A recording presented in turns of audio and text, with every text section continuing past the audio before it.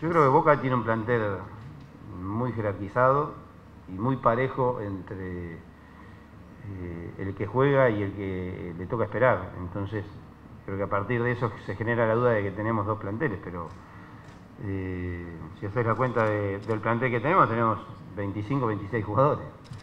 Y todos los planteles tienen 25, 26 jugadores. Entonces estaríamos hablando de que todos los planteles tienen dos equipos.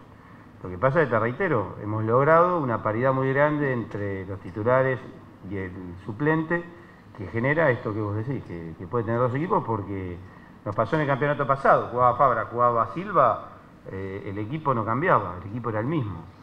Eh, jugaba Jara, jugaba Peruzzi, lo mismo. Eh, y me parece que es una característica muy buena que, que debe tener Boca, como tienen los grandes equipos del mundo, como tiene Barcelona, como tiene Real Madrid.